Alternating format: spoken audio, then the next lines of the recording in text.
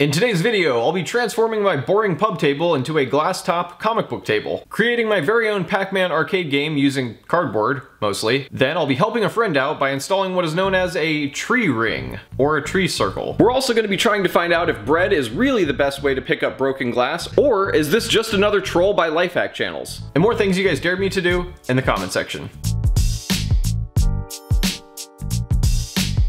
In the last video, I asked you guys to tell me something that you would protect with your life. And after reading your comments, obviously you guys have your priorities in order. I mean, most of you just want to protect your privates, which might be the best answer that anybody can give. And since you guys came up with so many comments, I thought I'd ask another question. What is something you've always wanted, but never got? It could be anything, from a math teacher that isn't related to Satan, to maybe just a Pac-Man arcade game you can play at your house. Be creative with your answers and put whatever you can come up with in the comment section. I'll be picking 10 of my favorite to be featured in the next video. Now let's get this thing going with the first life hack, which is how to resurface just about any table and using any design you can have printed on paper. For this next life hack, I'm gonna be showing you how you can make your old table into a customizable glass top table, or plexiglass top table, for only a few bucks. First starts out by measuring your table. Mine just happens to be 23.7 by 23.7. So I went to Lowe's, went to the plexiglass department, pressed a little button and somebody came and cut this for me. And it is the exact size of this table. Now what I'm gonna do is build a border around this table using this wood material right here. I've got stuff stacked up underneath it and one piece of plexiglass that's the same width as that plexiglass that I'm gonna be using. So that way when I screw this into the side, that piece of plexiglass will just sit flush on top. The purpose for that is that now you can put whatever you want underneath. Movie posters, drawings, art, even this thing right here if I wanted to. But what I'm actually gonna be using is a Marvel comic book poster. This should be pretty easy. This table has seen better days, even though it's not that many days old. Now I'm not saying I'm gonna leave it bad reviews on eBay or anything,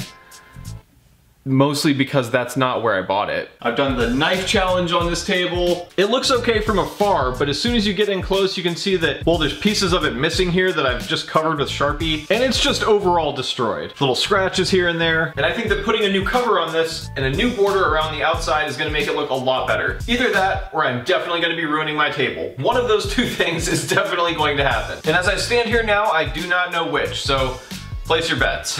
Probably both, but I'll let you be the judge. Now I'm only gonna be putting in two screws on each side. So before I attach this border to the table, I thought I could take some measurements to make sure that the screws are completely symmetrical. I also thought about making a pilot hole so that way I can keep from splitting the wood. But then I thought, meh, screw it. Okay, that joke was terrible. Let's just get this thing built.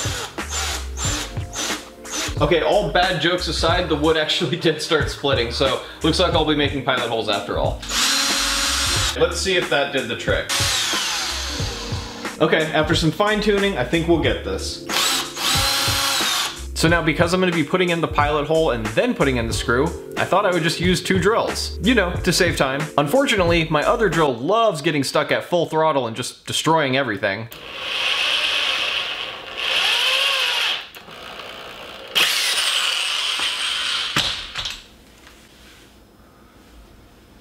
I would later set that drill on fire and then bury it in the backyard and make this drill watch. So, I don't think we'll be having any problems out of this drill, will we?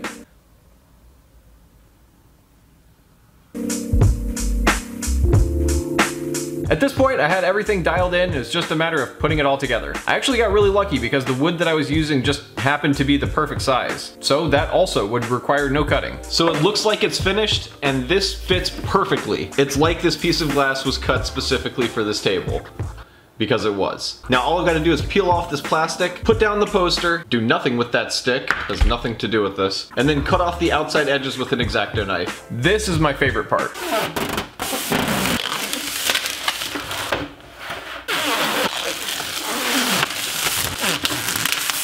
It already looks a lot better, but we're not done yet. Some of the Marvel superheroes might get cut out. Now with my X-Acto knife, I'm just gonna cut off the excess. Now that is genuinely awesome. I could not be more happy with this. That's a lot more fun to look at than what it was before. And it actually looks like it's professionally made. Now I am gonna paint the outside border black, but I just wanted to leave it like this just for the video's sake. But that is so cool. I'm blown away by how awesome this looks. And I am stoked to have this in my house now. I feel like my house is gonna look so much cooler with this in it. Or maybe it's just more little kidsy, but whatever, it's my style, I like it. With that being said, we're gonna probably see a lot of this in the future, so I won't harp on this table too much. We may even use it in the next life hack, which we'll be getting to right now. Now for this life hack, I'm gonna be showing you guys how to make a full-size arcade game at your house for very little money. Using cardboard, an old TV, and one of these retro game consoles. This one actually plays Frogger, but the one that we're gonna be using plays Pac-Man. And it also plays several other retro games, so it's better. And it happens to be in the shape of a Pac-Man logo. These things are cheap, you can buy them for like 20 bucks. If you like playing retro games, it's pretty cool. So if you pair that with an old TV and some cardboard, you could have a DIY arcade game. However, I want to warn you about resting a television on something you make out of cardboard. If the cardboard doesn't hold up, which it probably won't, you could be injured or even killed. But more importantly, you could break your TV.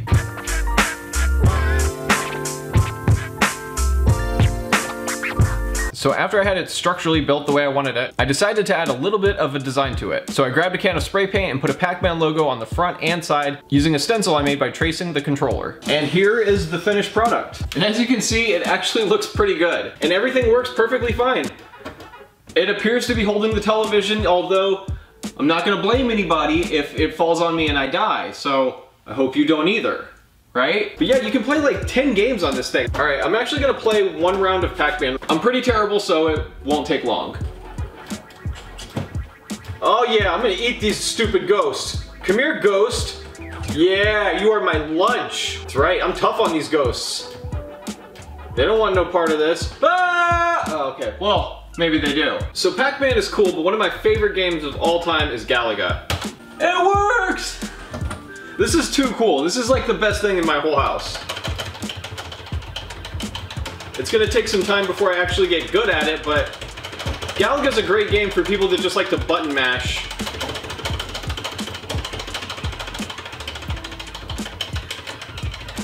Ah! Okay. All right, well, I'm just, I'm just gonna turn it off for now. I promise I'll get good eventually. And finally, I wanted to show you guys an easy way to improve the appearance of your lawn. Or in my case, one of my friend's lawns because I lost a bet. Don't ask, just know that I'm a man of my word. And my friend is getting a tree circle. Lucky for me, it was pretty easy. You just multiply the diameter of the circle you want to make by pi, and then make sure you've got that distance worth of whatever material you're going to be using to make your circle. Then you fill it in with mulch. That's something you can just eyeball.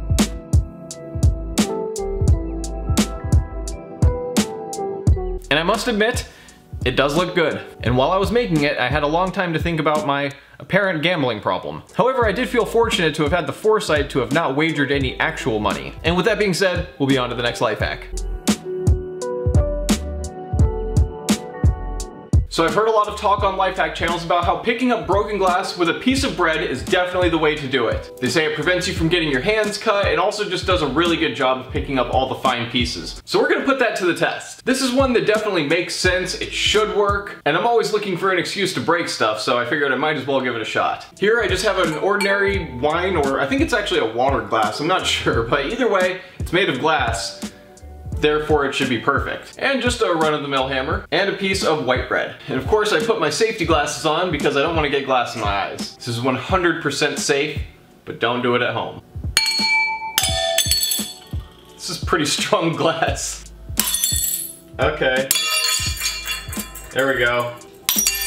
I'm being very careful so that I do not cut myself.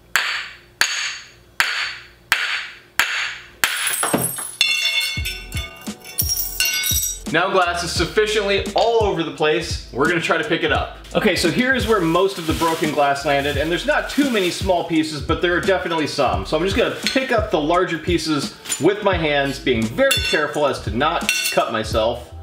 So there's lots of little shards of glass on the ground, which I am not happy about because these are my floors. This is where I have to walk. So I'm gonna try to pick up as much as I can with the piece of bread. Hopefully this life hack is real because otherwise I'm gonna have a whole bunch of glass all over my house. And I'm definitely getting bread everywhere, so that's a thing. Hmm, maybe more than one piece of bread. I mean, it, it was definitely working, but it was also spreading it around all over the place. I don't know if you can see, but this is, it picked up a whole bunch of the glass, but it also left behind a whole lot of bread. But I'd rather have bread than glass, so let's keep going. I'm gonna pick up a few of the larger pieces that it was having trouble with the last time around. Hopefully it can do a little bit of a better job this time. Also, I found out what the heel is for, which is interesting because as we all know, the heel of the bread is completely inedible. So now we know what it's for. It's for picking up glass. All right, it's actually, I mean, it does work, but it's not the end all be all. I'm definitely still gonna have to run the vacuum over this area when I'm done. However, I have not cut myself once, so there's that at least. And you know what? I actually think it worked. I mean, don't get me wrong, there's a ton of like cut up bread left behind, but I'm not really seeing any more of the glass shards. So yeah, there you go. I mean, it does work, but this is definitely the way to get ants. So if you want ants, do this. and yes, that is a butchered Archer reference. I mean, I don't know. Tell me what you guys think. I can't really be the judge of it. There's obviously bread all over the place now, but I, I don't see any glass. Doesn't mean it's not there though. That's kind of the way the broken glass is. It's sneaky like that. It'll wait till you forget about it and then boom, cut your foot. So hopefully that didn't happen this time. But at the end of the day, it didn't really save me a step because I still have to use my vacuum. So get to it, Roomba. So if this video was helpful or if you just enjoyed it, make sure to click the like button. And if you're new to the channel, make sure to subscribe and bell me for notifications if you'd actually like to see the videos. And of course, I'll be seeing you guys in just a few days with a new video. All right, thanks guys, bye.